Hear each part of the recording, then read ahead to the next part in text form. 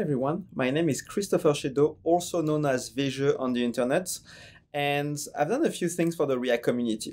I co-created React Native, Prettier, Excalidraw, CSS in JS, but today I want to talk about something different. I want to talk about video editing in the browser. So during the pandemic, I spent a lot of time uh, doing video editing, and I, I was even thinking maybe I should go like become a YouTuber full time. But then I realized that with this number of views, I should probably keep my job as a software engineer uh, for a bit longer. So what does it mean to edit videos? So I used a tool called Final Cut Pro, and I felt that it was built like many many years ago and didn't have all of the ai advancements that we've seen uh, recently so for example i bought a $20 green screen and i needed to pick the green color and the range in order to remove it. And as you can see there's some shadows uh, behind me uh, in the picture and it wasn't properly removed. Then in order to cut i want to know like what am i actually saying to know which part i should be cutting. But I only got the sound waves and not the actual words spoken. On the other side, I was looking at the JavaScript, like the browser news, and I saw like a lot of super exciting stuff happening. So we can start doing encoding and decoding with web codecs. Uh, TensorFlow.js lets you uh, remove the background uh, from the video. And then Whisper is letting you uh, take what I'm saying into actual words. And so we had seemingly all of the building blocks in order to be uh, able to do like a really good video editor powered by AI. But unfortunately, I wasn't able to get all the way there. And this talk is going to be the story of why.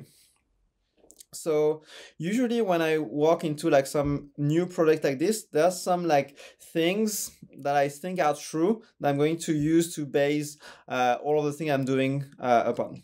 But there were three things in this case that were not true. So the first one is that time only travels forward. The second is that when you encode one frame, you're getting one frame back. And finally, that WASM is faster than JavaScript for video decoding. So if you want to know why this is not true, buckle up, uh, we're getting into it. So let's start uh, with thinking about like making a video. And unfortunately, I cannot be here in person today. So what I decided to do was to bring some of the sunny California uh, to Amsterdam. And for this, uh, I put a palm tree uh, in all of the pictures. So uh, in this case, we have like React Summit uh, in the background and then like moving to the foreground and the palm tree like fading away so what would be the API that I would expect uh, to be able to do that? So I initially wanted like a load video kind of API that takes a file path and returns me like a list of images. And then I'm going to modify the images, remove the background, like cut and paste and bunch of stuff. And then like a save video that would take the file path and render and uh, like a list of images and like actually save the video. So Unfortunately, this API cannot exist. So let's see why. So let's go into like one image of this whole video and not too big, not too small, like a thousand by thousand image. And how large is it actually to represent this? So it's going to be like 1000 by 1000 pixels, uh, about one uh, megabytes. And then there's a red, green, and blue. And so we are about like four megabytes in size. And this is just for one image. Now, uh, if you want like 60 FPS, like one second, you're going to be at like 200 megabytes for every single second. So this talk right now is around 20 minutes. So this is going to be big. And this is actually going to be too big uh, for uh, the browser or like any uh, like computer right now. And what do we do? So fortunately, a lot of very smart people have worked on this for years, and what they built is a shrinking machine. Well, not exactly. What people have been doing is image compression. And so I'm going to talk uh, for like the next few minutes around like different types of image compression. And not because I find interesting, which I do, but because they actually have a big uh, factor into the actual API used for video encoding. So let's see uh, the, the main ideas around video encoding. So, uh, sorry, about image compression. So if you look at this one frame, one thing that we can see is that there's a lot, there's only two colors being used, and there's a lot of like white and dark pixels. And so instead of uh, displaying like seven dark pixels in a row with like red, green, blue, red, green, blue, red, green, blue, what we can do is to start uh, writing one byte, which is a number of the pixel, and then uh, the red, green, blue once, and then uh, we can basically like repeat it like this. And so this is a technique called run length encoding. So now this technique in itself is very useful for images with only two colors. But if you take a picture uh, with your camera, you're never going to be uh, to see two pixels next to each other with the exact same color. And uh, we're going to see next like how to help with this. But keep in mind that this is a building block uh, for compressing images uh, that's going to be used in the pipeline. So now the other strategy I'm going to talk about, you need to have like some imagination for this. So in this case, uh, we're going to think of the image not as a series of pixels, but as a continuous function. And one of the things we can do with a continuous function is to run a Fourier transform on top of this that's going to decompose this continuous function into an infinite sum of sinusoidal functions like sin and cos with some variation. So, okay, why would you want that? Like, how is it useful? So, what you can see in the illustration is the first few uh, sinusoidal function, they actually end up being very close to the final function. And then like the more you go down into those like those sinusoidal functions the less information that they have.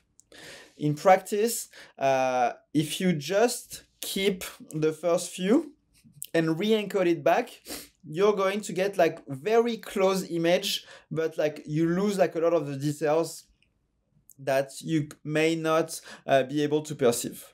Now every single one of those is taking roughly the same amount of bits to encode.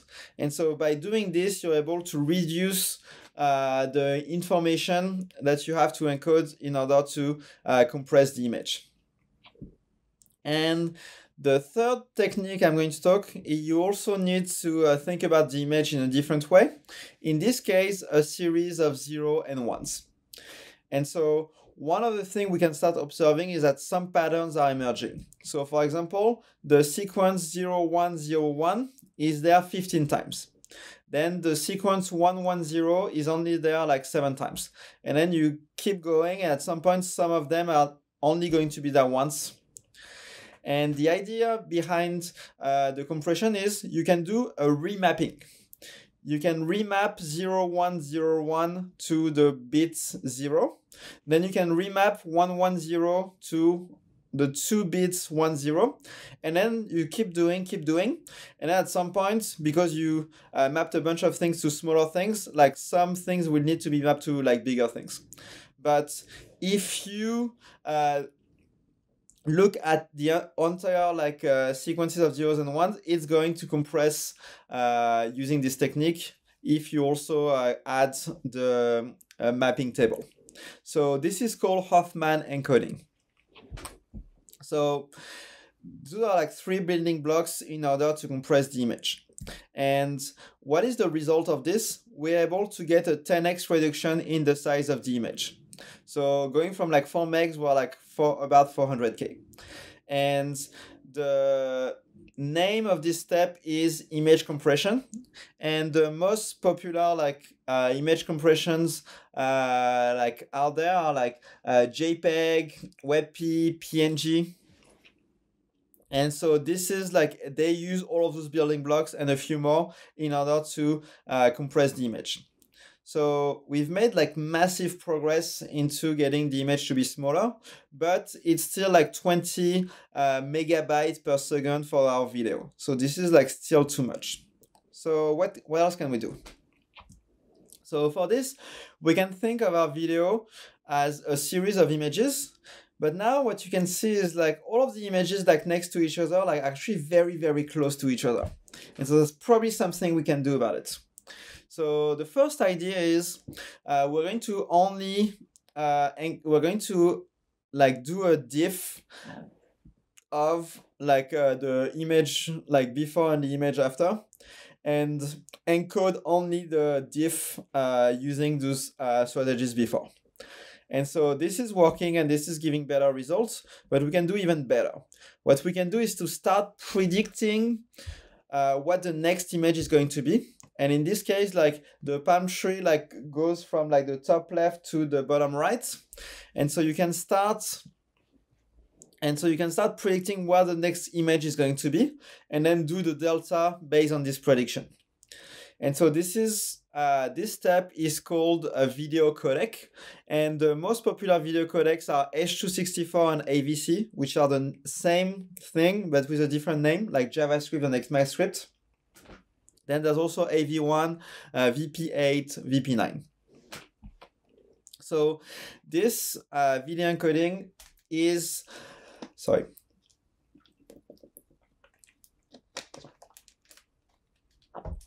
So this video codec is able again to reduce uh, the size drastically. So in this case, this is how our setup looks like. So we now have two types of frames. We have keyframes. So in this case, the first frame, uh, which is using something like JPEG uh, to compress it. And then we have delta frames. So in this case, like every one in this picture.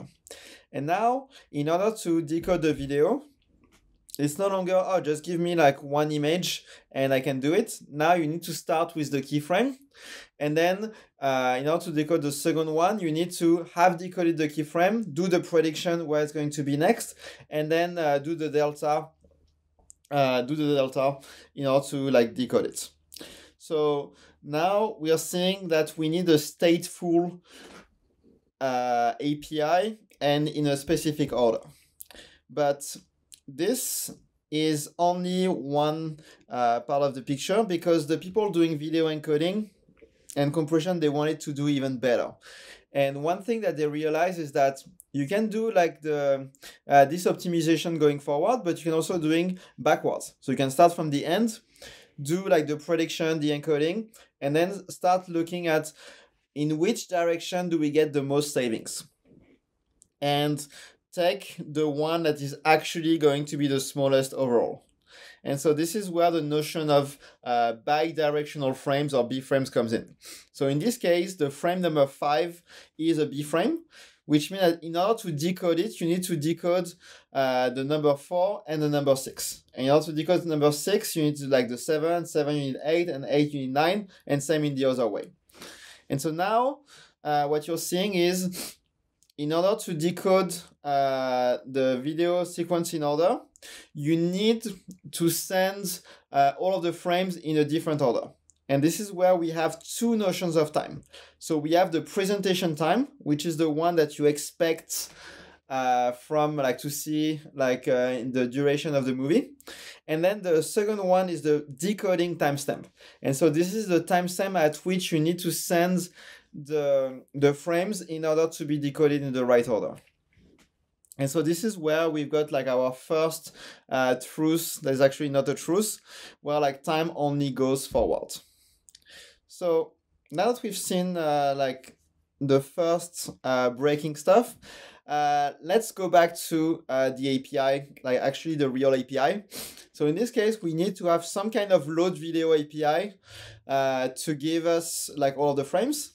And then we want like a, a decoder API. And so in this case, uh, the web codecs, like the browser, is giving us a video decoder with a bunch of options, including one which is a callback on decoded frame. And so now you need to do decoder the decode, send it like the first frame, and then it's going to process, and at some point it's going to give us uh, call our callback with the first image. And then we do it with the number two, number three, number four, and we're getting them in order. But now what happens like for our B frames? So now what we need to do is to send uh, the frame number nine, and then the frame number eight, and then the frame seven and six. But our callback is not going to be called. So not like it's as if nothing happened, but in practice, like a bunch of things happening behind the scene. And only when we send it the frame number five, now it's going to do the whole chain again and going to call all our frames in the right order uh, for us to be able to use. And so this is where like the truth number two is a lie. So if you're decoding one frame, you're not getting one frame back. So in practice, uh, you may get like zero or you get made five based on like how uh, the encoding have been have been done. And so this is very mind bending because like all of the APIs I can think of, even the asynchronous API, when you call something is going to give it to you back after some time, but it's never like, oh, you're getting one or 10 or like zero and uh, very in an unpredictable way. So now that we've seen another another truth, let's go like even deeper. So let's think about like this load video API that I talked about. So how would you uh, encode all of this information? So now there's a lot of metadata that we need. So we need to have like, hey, how much time uh, uh, is a frame uh, like what are the list of frames? What are the types? Uh, what are their like timestamp? Uh, what are the dependencies between them? So there's a lot of metadata needs to be stored. And so if we were to do it uh, today you would probably uh, implement it in json. But all of those file formats have been written like 20 years ago and so they're all in binary. But the idea is the same. So what are what what is this step called? So what is this thing called? Uh, this is called a video container. And so in practice uh, like the four most known one are the mp4 mov avi and mkv and they all use different encoding and different way to represent this but they all have like very similar information that is about like a container for like then calling the codec. And this step of reading these file formats and then sending all of the frames in the right order to the codec is called demuxing. So now uh, it's called uh, demuxing. So now let's talk a bit about performance. So what takes time in this whole thing? So in practice, the codec is the part that takes the most time. And one of the and to re, uh, to refresh your mind, like the codec is doing all of the image compression, decompression, all of the predictions, all of the delta, all of these encodings. And one of the way to like think about it is uh, just look at the size of things. So the binary data is like in the tens to hundreds of kilobytes, but then the actual like metadata for each frame is like tens of characters. And so you can see like a very big uh, change and this is so uh, like uh, like time consuming and complicated and uh, needs to have so much performance that now there's hardware specialized uh, like units in the like either next to the CPU or like to the GPU that is doing all of the operation I, I mentioned like uh, the fast Fourier transform, the Huffman encoding and all those kind of things uh, in the hardware. And the reason why it's in the hardware is because just doing it in like the CPU normally, even like with the most handwritten like C++ code is was not fast enough. And so now if you want to, to use Wasm, now you would have to like not only have something not as fast because it's running on the CPU, but with some overhead for Wasm. And so doing this that way is going to be slower and this is where like web, uh, web codecs is very exciting is that we're now able to use a javascript api send all of those binary data and the web codec api is going to be using all of those hardware accelerated uh, functionalities. So this is exciting Now, this is only one part of the equation. The second part is uh, we need to do like to read this file, like this binary file, like doing this demuxing. Like, could we use WASM for it? So again, uh, the story is a bit more less com uh, more complicated. So the way WASM works is it creates a new memory heap, like a memory space. And in order to call into it and to have it run its job, you need to copy all of the information you want to to this new space, then do its work, and then copy and then give it back to you. And here we're talking about like hundreds of kilobytes, like megabytes, tens of megabytes uh, of information, and do a copy for doing not a lot of work for decoding this, and then copying it back, and then sending it back to uh, the web uh, to the web codec API. And so doing this copy actually nullifies any of the wins you may have from uh, using WASM, uh, which is faster. So this is where our third truth uh, becomes a lie, where uh, WASM is not faster than using raw JavaScript uh, for video decoding. Now, one caveat I'm going to say is in practice for the demuxing, it's not part of the web codec API, it's not part of the browser, so you need to do in userland. And there's so many uh, C++ APIs for demuxing that have been written over the years. And so for code reuse, it's actually a legit way to use WASM for this, but it's actually not for performance reasons. So now that we've debunked like the three uh, myths and where are we at? And so in practice i wish i ended the talk with like hey you can use this video editor with all of those functionalities. Unfortunately we're not quite i'm not quite there yet. What i've been able to do is to get like uh, decode an entire video file and re-encode it without doing anything. And in the browser the good news is that one, it's actually possible and it works. And the second one is actually it's actually fast. So because we're using the hardware um, accelerated features, it's as fast as using Final Cut Pro uh, in the browser. So the perf is there, the capability is there, but the issue is like actually doing it takes like hundreds of lines of like very in the weeds codes that is very hard to debug and needs to understand like all the things I talked to you so far. And so this is where uh, like my call to action to every one of you is is we need to have a jQuery of video editing in the browser and we need to have like clean up the API and like package it in a way to have like the like uh, like make it able to do a video editor with AI possible. And so, are you going to be the one to build it? This is my call to action. Thank you. Have a good day.